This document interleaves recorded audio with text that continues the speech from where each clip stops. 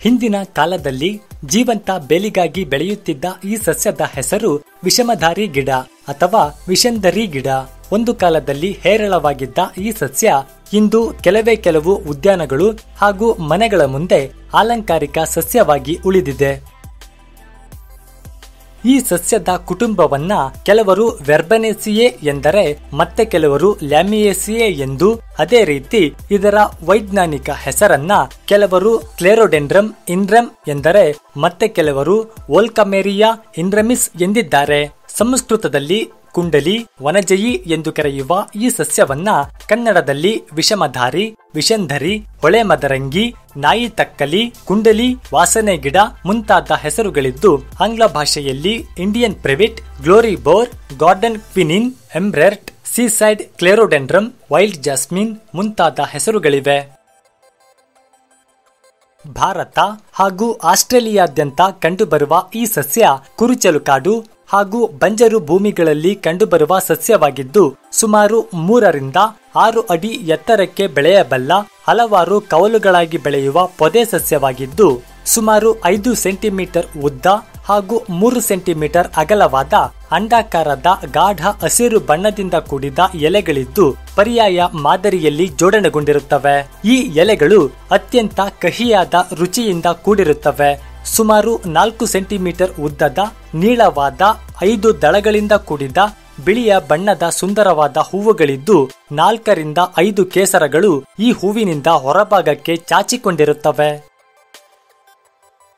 Antibacterial, antiviral ಗುಣಗಳಿಂದ ಕೂಡಿರುವ ವಿಷಮಧಾರಿ, carboxylic acid diterpenes flavonoids, hydrocarbons, neolignans, phenols, protein, steroids, verbascoside, triterpenes ಮುಂತಾದ ರಾಸಾಯನಿಕ ಸಂಯುಕ್ತಗಳಿಂದ ಕೂಡಿದ್ದು ಸಾಂಪ್ರದಾಯಿಕ, ಆಯುರ್ವೇದ ಹಾಗೂ ಸಿದ್ಧವೈದ್ಯ ಪದ್ಧತಿಗಳಲ್ಲಿ ಈ ಸಸ್ಯದ ಎಲೆ ಹಾಗೂ ಬೇರುಗಳನ್ನ ಔಷಧೋದ್ದೇಶಕ್ಕೆ ಬಳಸಲಾಗುತ್ತದೆ.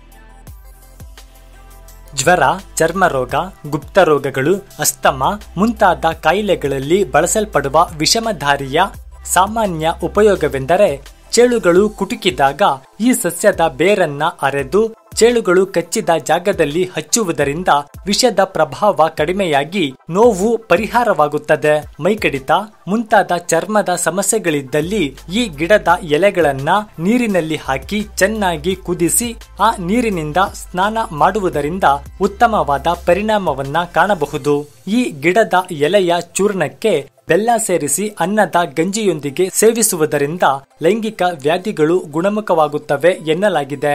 ಗ್ರಾಮೀಣ ಪ್ರದೇಶಗಳಲ್ಲಿ ಬಿಟ್ಟು ಬಿಟ್ಟು ಬರುತ್ತಿರುವ ಜ್ವರಕ್ಕೆ ಅಲ್ಪ ಪ್ರಮಾಣದಲ್ಲಿ ಈ ಎಲೆಯ ಕಷಾಯ ನೀಡಲಾಗುತ್ತದೆ. ಪ್ರತಿನಿತ್ಯ ವಿಷಮಧಾರಿಯ ಮೂರರಿಂದ ನಾಲ್ಕು ಎಲೆಗಳನ್ನ ತಿನ್ನುವುದರಿಂದ ಮಧುಮೇಹ ನಿಯಂತ್ರಣಕ್ಕೆ ಬರುತ್ತದೆ ಎನ್ನಲಾಗಿದೆ. ಈ ಗಿಡದ ಗಂಭೀರ ಅಡ್ಡ ಪರಿಣಾಮಗಳು ಇಲ್ಲದಿದ್ದರೂ ಕೂಡ ಅಹಿತಕರವಾದ ವಾಸನೆಯ ಜೊತೆಗೆ ಅತ್ಯಂತ ಕಹಿಯಾದ ರುಚಿಯಿಂದ ಕೂಡಿರುವುದರಿಂದ ಹೆಚ್ಚಿನ ಪ್ರಮಾಣದಲ್ಲಿ ಸೇವಿಸಿದರೆ ವಾಕರಿಕೆ ಹಾಗೂ ವಾಂತಿಯಾಗುವ ಸಾಧ್ಯತೆಯಿದ್ದು, ಕರುಳು ಅಥವಾ ಜಠರದ ತೊಂದರೆಯಿಂದ ನರಳುತ್ತಿರುವವರು ಈ ಸಸ್ಯವನ್ನು ಬಳಸದಿರಲು ಸೂಚಿಸಲಾಗಿದೆ. ಮಕ್ಕಳು ಹಾಗೂ ಗರ್ಭಿಣಿಯರು ಬಳಸುವಂತಿಲ್ಲ.